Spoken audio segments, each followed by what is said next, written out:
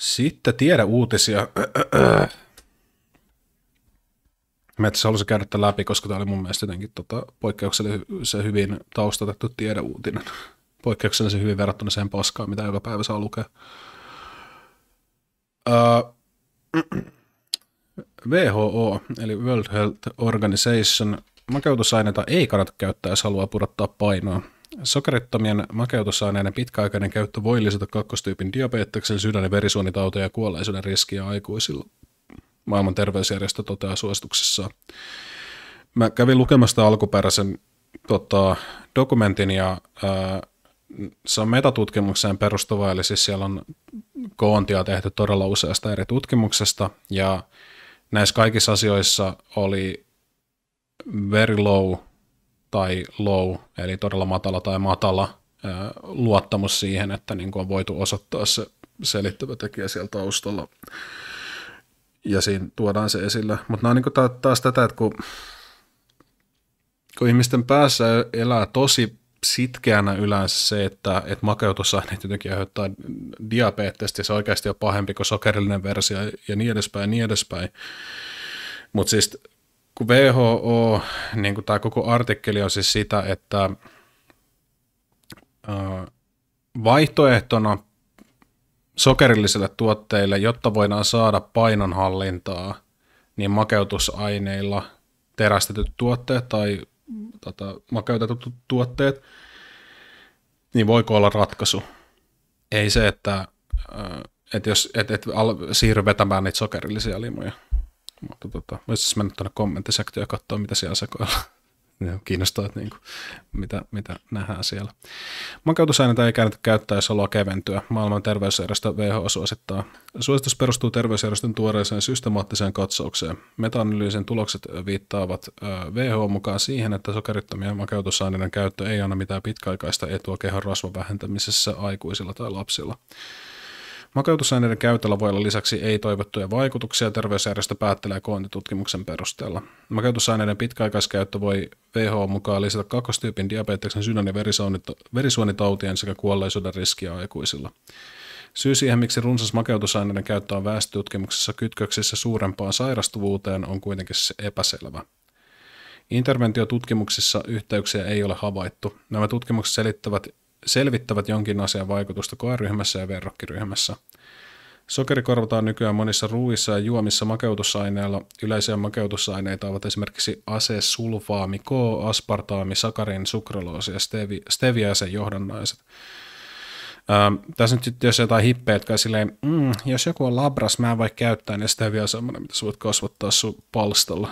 Ja ja, ja sitten vaan niin ottaa niitä lehtiä sieltä ja hoitaa itselle siitä makeutusainetta, jos on pelottavaa luonnottomuutta jossain, niin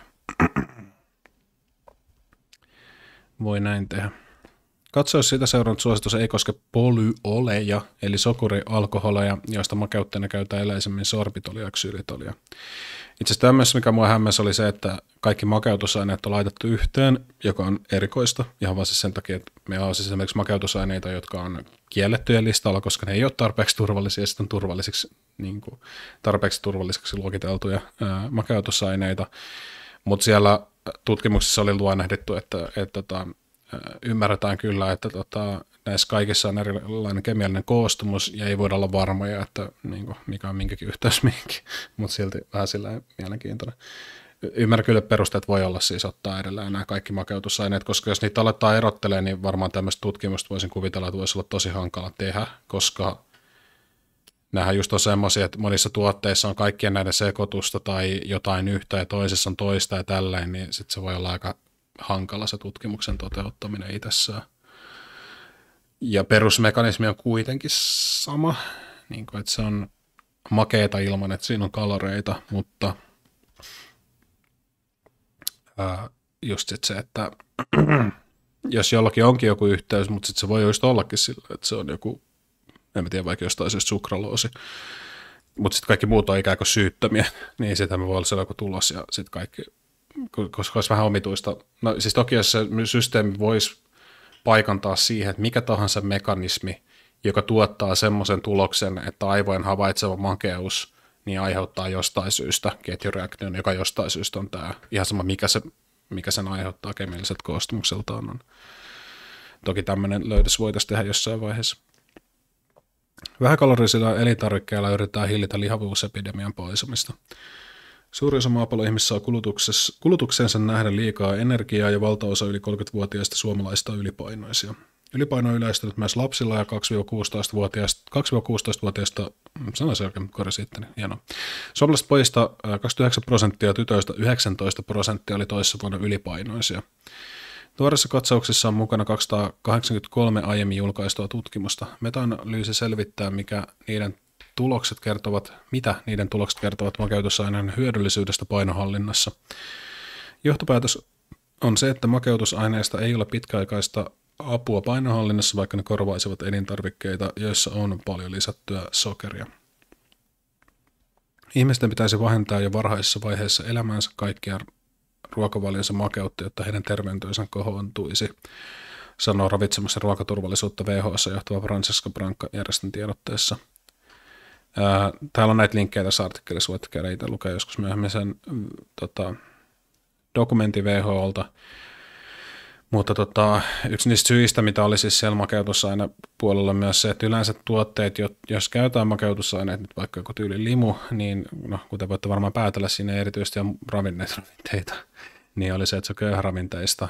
Ja tässä on otettu huomioon siis se, että ihminen, joka vetää vaikka isot määrät tota, makeutusaineellista limua tai muuta, niin siellä voi olla muita selittäviä tekijöitä. Eli sanotaan nyt vaikka näin, että joku ihminen on päätynyt juomaan näitä makeutusaineellisia limuja, koska haluaa laihduttaa, niin semmoinen ihminenhän on jo valmiiksi semmoinen, jolla on huono dietti mahdollisesti, ei välttämättä, mutta tämä voi olla tämmöinen, ne kävi läpi tämän tota, siellä artikkelissa, että nämä on pystytty pois sulkemaan, mulla ei ole kompetenssia arvioimaan, että onko ne oikeasti pystytty pois sulkemaan, mutta tota,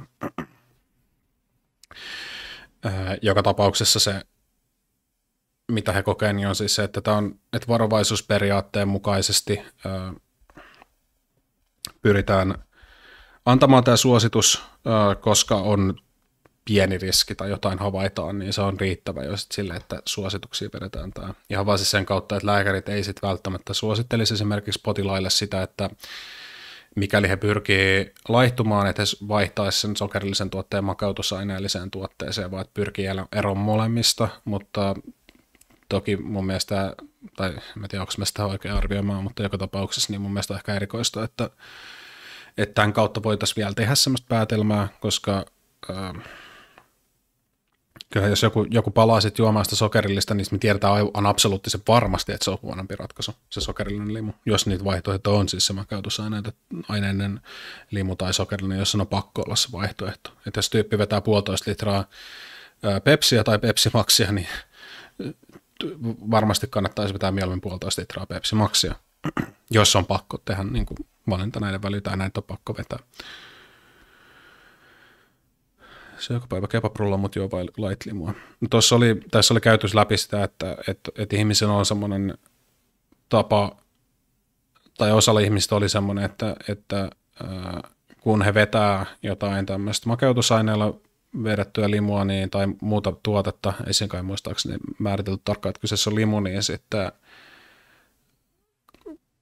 sillä rationalisoidaan se, että syödään jotain, tyyli joku suklaapatukka tai joku muu vastaava, joka vaikuttaa ihan järkevältä selitykseltä. Eli siis tässä puhuttiin paljon semmoista niin kuin, uh, real world, oikean maailman tilanteesta, joka on just se, että uh, se ei liity välttämättä siihen mekanismiin, joka on siinä, tai voi, tietenkin nämä molemmat voi olla vuorovaikutteisia, mutta se ei välttämättä liity siihen, vaan siis just tämmöisiin käyttäytymistekijöihin, mitkä siellä on. Et jos ihmiset psykologisesti alkaa käyttäytyä väestötasolla niin, niin se vaan tarkoittaa, että se on oikea ilmiö, joka tulee tapahtumaan, vaikka se tuntuu vähän hassulta. Että eihän ihmisen pakko tehdä sitä rationalisointia, että koska mä vedän nyt tämän lightlimun, niin mun, mulla on oikeus vetää tämä suklaapatukka. Et, mutta tota, niin vaan ihmiset tulee käyttäytymään. Eri maissa voidaan päätyä kullekin sopiviin poliittisiin päätöksiin. Suositusille on tuoreeltaan asiantuntijoiden varauksetonta tukea. Esimerkiksi Forouhi huomauttaa, että valtaosa mukana olleista tutkimuksista ei anna asiasta vahvaa näyttöä. WHO itsekin toteaa, että makeutusaineista painohallinnassa on ristiriitaisia tuloksia eikä pitkäaikaiskäytön seurauksista ole selvyyttä. Monissa interventiotutkimuksissa makeutusaineiden käytöstä sokerin korvaajina painohallinnassa on saatu myönteisiä tuloksia. On laadukkaita satunnaistettuja kontrolloituja tutkimuksia, jotka osoittavat, että kun keinotekoisesti makeutetut juomat korvaavat lapsilla salaa sokerilla makeutetut juomat, ne auttavat ehkäisemään epäterveellistä painonnousua, sanoi King's College Londonin ravitsemuksen ja ruokavalio-opin emeritusprofessori Tom Sanders Science Media Center-sivustolla. Satunnaistetuissa kontrolloiduissa tutkimuksissa osallistujat sekoiletkin osallistujat jaetaan ryhmiin satunnaisesti. Tällaiset tutkimukset kestävät yleensä kuitenkin vain muutamia viikkoja tai kuukausia. Havainnoivissa väestötutkimuksissa on huomattu, että makeutusaineiden käyttö on kytköksissä suurempaan painoindeksiin, mutta ne eivät kerro mikä yhteyttä selittää. Osa tutkijoista on sitä mieltä, että makeutusaineet voivat auttaa lyhyellä aikavälillä pudottamaan painoa, mutta pidemmän päälle niistä ei ole hyötyä, jos on tottunut makeaan. WHOn tuore suositus pätee kaikkiin muihin ihmisiin paitsi niihin, joilla on jo diabetes. Diabeetikot on jätetty ulkopuolelle, koska katsauksessa ei ollut mukana tutkimuksia, joissa olisi tarkasteltu diabeetikkoja. Suositus makeutusaineiden välttämistä painohallinnassa ei koske lääkkeitä ja hygieniatuotteita terveysjärjestö huomauttaa. Makeutusaineita on esimerkiksi hammastahneissa ja ihovoiteissa. Ihovoiteissa. No, se on varmaan hyvä, että se maistuu hyvältä se ihovoide. Suositus ei myöskään käsittele makeutusaineiden turvallisuutta. Viime vuosina on havaittu, että aivot näyttävät jäävän huutamaan muuta ruokaa makeutusaineen juomien jälkeen. Jos ihminen nauttii sokeria, glukoosia eli rypälesokeria tai fruktoosia eli hedelmäsokeria, aivojen kylläisyyskeskus sen sijaan havaitsee energiaa ja ruokahalun laantua. Asia ovat selittäneet esimerkiksi Leidenin yliopiston tutkijat. Toiminnallisissa magneettikuvissa sokerit näyttävät aktivoivan kylläisyyden ja aivojen palkitsemisjärjestelmän. Vähäkaloriset makeutusaineet eivät saaneet samaa aikaa. Nyt katsotaan tämä mielenkiintoisia asia, että onko kommenttiketjussa ihmistä mitään tästä. Taas näitä vitu viestiketjuja.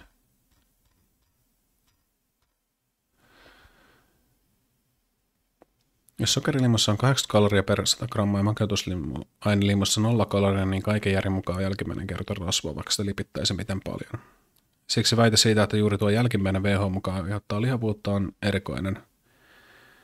Syy ei voi olla muu kuin se, että ne, jotka käyttävät keinomakeutettuja ruokia ja juomia, syövät myös muita ruokia valtavasti yli oman kulutuksensa. Ja tämä on just taas, mikä me nähdään siinä, että mikä, mikä on se ongelma siinä, että meillä ei koskaan tulla päihittää lihavuutta, koska näitä idiootteja on olemassa. Jotka on silleen, että ihminen pysyy köyhänä, mutta jos saa rahaa, niin se on rikkaampi. Sillä vau, kiitos sun kontribuutioista keskusteluun. Mutta siis tätä käytiin siinä WHO-dokumentissa läpi, ja siis siellä puhuttiin just nimenomaan tästä oikean maailman vaikutuksista. Ei, ei niin kuin tutkijoilla, joilla on massiivinen määrä enemmän tietoa tästä aiheesta kuin esimerkiksi Lasse Kannistolla, niin jos sillä ei, että on ylläri, sen takia ne puhuu sieltä oikean maailman vaikutuksesta väestötasolla. Ja sitten ihmiset, jotka ei ymmärrä mitään tutkimuksesta ja näistä asioista tietenkin johtuu, johtaa niitä tämmöisiä lopputuloksiin. Tämä sama esimerkiksi maskien kanssa. Et esimerkiksi maskit ilmiselvästi, jos kyseessä on siis semmoinen tauti, joka leviää aerosolien kautta, niin jos sulla on joku asia, joka blokkaa sun suusta tulevia asioita, niin se on itsestään selvää, sen toki voi tutkia, että me voidaan tutkia sitä, että miten paljon se blokkaa ja millä tavalla, ja sitten meidän pitää selvittää, että mit, mi, miten vahvasti se menee ja niin edespäin niissä hiukkasissa ilmassa leviää. Mutta tota, sitten nimenomaan oikean maailman esimerkki voi olla se, että jossain tietyssä kontekstissa maskeista enemmän haittaa kuin hyötyä. Se on mahdollinen tutkimustulos, mutta tota, se tarkoittaa, että siinä tietyssä kontekstissa oikean maailman esimerkkinä, koska jos ihmiset vaikka ei osaa käyttää maskia, jos joku tietty populaatio jossain on äärimmäisen huono käyttää maskia vai jostain syystä, niin sitten siitä maskien antamisesta voi olla enemmän haittaa kuin hyötyä. Mutta tätä ei voi tietenkään universalisoida sille, että kaikille on haittaa enemmän maskeista kuin hyötyä. Ja tässä on tietenkin näitä tutkimusnäkökulmia ja muita, että mitä se konteksti on tehty ja näin edespäin. Voi olla, että otetaan joku täysin absurdi konteksti, jonka kautta näin tämmöinen tulos varmasti tulee, mutta sitten kaikissa muissa konteksteissa näin ei tapahdu ja niin edespäin. Mutta mutta tätä käytiin just läpi. Ja sitten kun puhutaan väestötasolla asioista, nämä samoja idioottimaisuuksia, mitä liittyy johonkin lautasmalleihin tai muihin. Joku on silleen, no, mulla on tosi harvinainen geneettinen sairaus ja lautasmalli ei toimi mulle. Ah, Okei, okay, joo. Se on hienoa, että se promilleen promille, jolle se ei toimi, mutta siis niin, niin tämmöinen yleiskansanterveydellinen suositus. Niin. se, että onko tämä, onko tämä itsessään hyvä suositus on oma keskustelunsa, mutta siis se suositus perustuu siihen, että ikään kuin oikean maailman tilanteissa ja muutenkin ei, ei ole tehokas ää, ratkaisu siihen, että jos halutaan vähentää, mä en tiedä miten se vapaat sokerit kääntyy suomeksi siellä, puhutaan free sugarista, mutta tota, ehkä sanotaan vasta valkoinen sokeri vaikkapa, niin se ei ole vaan kauhean hyvä semmoinen tapa toimia siihen.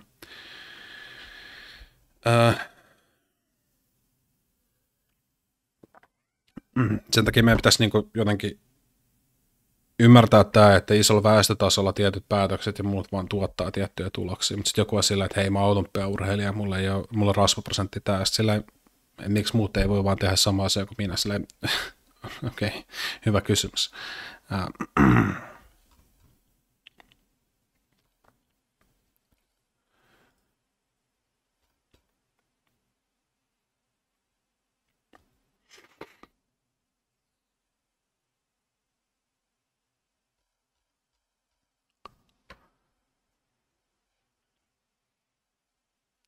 On se kuitenkin looginen selitys. Tiedetäänkö, onko looginen selitys öö, empiirisiä asioita? Öö, mm, joo.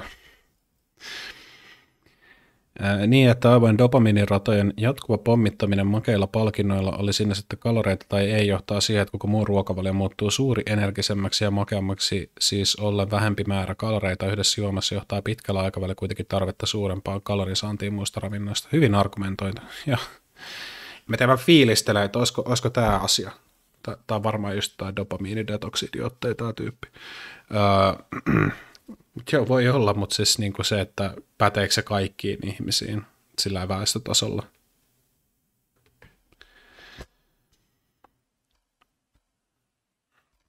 Ja mikä se ratkaisu siihen on? No älä vaan dopamiini pommita. Okei. Okay. Mitä, jos ihmisellä on joku semmoinen mikä, niin kuin ympäristö, joka tukee sitä, joka päätyy siihen joka tuottaa sitä jatkuvasti, niin sanoo ihmiset, älä vaan tee noin. Okei. Okay. WHO laittaa yleisen viesti, älä vaan, älä vaan tee noin. Okei, okay, ihmiset ei enää tee näin. Mahtavaa.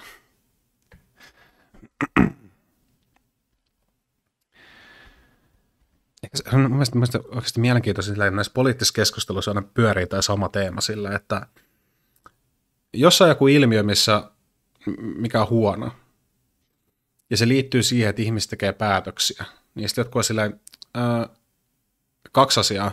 Kerrotaan niille ihmisille, että tämä on epälooginen päätös, ja ne lopettaa sen eettisen tekemisen.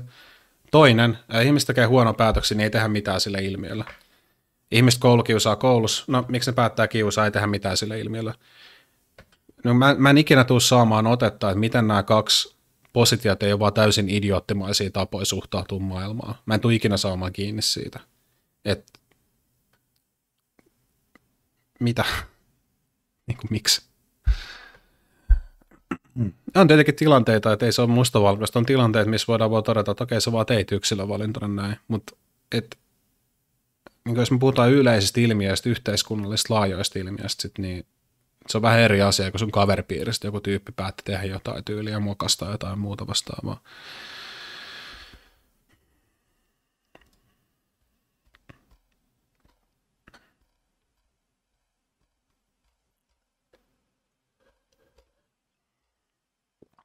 Hyväksyisit, että ihminen on pohjimmiltaan rationaalinen. Ihminen on pohjimmiltaan rationaalinen. Mutta sitten vaan just se, että mitä se rationaalisuus on. Se on sen takia meillä on olemassa rationalisointia. Se on hyvin rationaalista ajattelua, rationalisointi. Ja, tota, se on loogista ajattelua ja sen kaikki, kaikki, kaikki palaset kyllä paikoillaan, mutta mitä varten se on, niin se on vähän, tai niin kuin, että mihin se johtaa, on vähän eri asia. Onko se järkevää tai hyvä asia?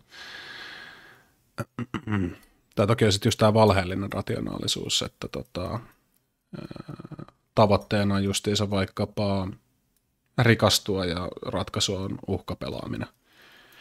Mutta jos se premissi pitää paikkansa, että uhkapelaamisella voittaa, niin täysin pätevää päättelyä ja rationaalistakin.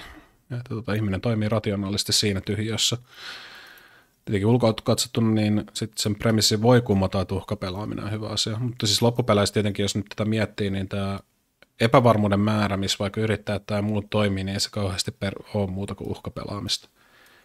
Jos sä toimit, toimit systeemissä, joka ei ole pokeripöytä, jossa sä et voi tietää kaikkiin muuttujia, niin on aika erikoista sanoa, että tämä perustuu laskelmoituun riskiin, koska mun mielestä se, se osoittaa, että sä et ymmärrä yhtään mitään, missä puhut. Toki siis, kyllähän, niin kuin, jos nyt mietin, niin ähm, jos on vaikka punaiset valot ja mä menen nyt niin kuin, juoksemaan edes takaisin niin punaisia valoja, niin Mä voin olettaa joo, vaikka mä en osaa kalkuloida niitä riskejä niin kuin semmoisessa avoimessa systeemissä kauhean hyvin, niin mä voin olettaa, että joo, todennäköisesti me auto alle. Mutta niin monesti nämä niin kuin, niin kuin tämän tyylisellä päättelyllä, jotka on se, että kaikki, kaikki sisää tähän bisnessuunnitelmaan. Et, joo.